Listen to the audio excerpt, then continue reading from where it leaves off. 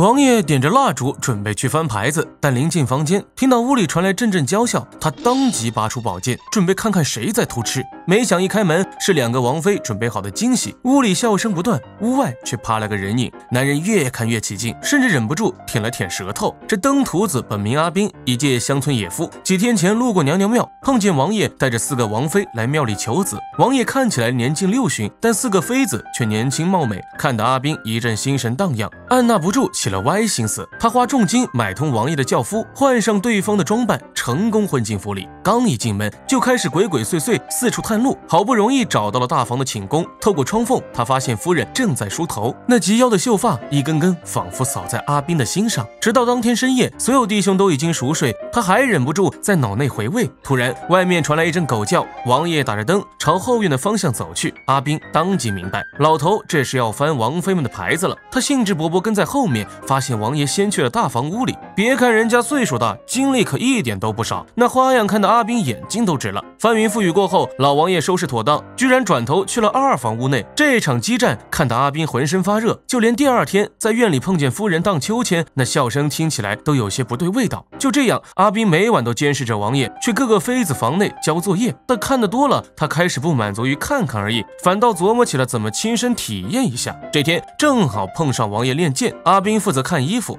脑筋一转，想出个歪主意。他偷偷藏起衣服，等到当天夜里换好行装，粘上胡子，左手烛台，右手宝剑，借着微弱的月光，还真有几分王爷的风范。临近亥时，他偷偷藏在院里一角，尾随王爷。确认他进了二房的屋子，便大摇大摆奔着大房的寝宫去了。天色本来就晚，屋里又没点几根蜡烛，乌漆麻黑的，谁也看不清谁。两人很快就进入了正题。事情本来顺顺利利，但坏就坏在二房今日来了月事，有所不便，原计划取消，改成了彩背。虽然也算别有情趣，但王爷的雄风无处施展。他松了松筋骨，就披上外衣，准备翻大房牌子。不巧的是，阿斌也刚刚完事，穿着妥当，准备离开寝宫。可刚下楼梯，就看见一道人影迎面走来，他。赶紧躲到暗处，二人这才没有撞见。不过躲得了和尚，躲不了庙。老王爷去而复返，引起了王妃的怀疑。怎么忘了东西了？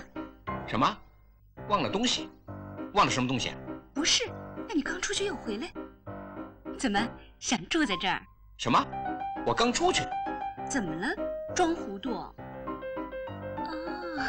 我明白了，那你刚才一定是吃了什么药，龙精虎猛的，正好像换了一个人。王爷听到这，哪还能不明白？是有人背着他偷偷采了花，一定是那些王八蛋。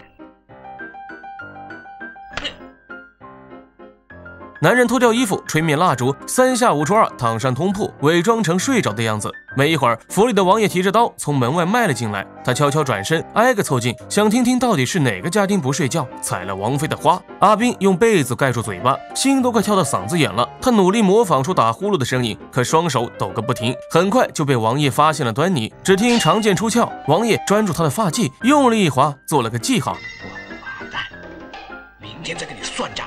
阿斌赶紧起身，摸了摸头顶，他还不想这么早死，于是灵机一动，又想出个鬼点子。他跑到马厩旁，拿了把大剪子，回到房内，把所有人的发髻都剪了下来。第二天一早，王爷召集所有家丁，清一水都是披头散发的模样，根本分不出来。好吧，家丑不可外扬，反正一定是你们其中的一个人。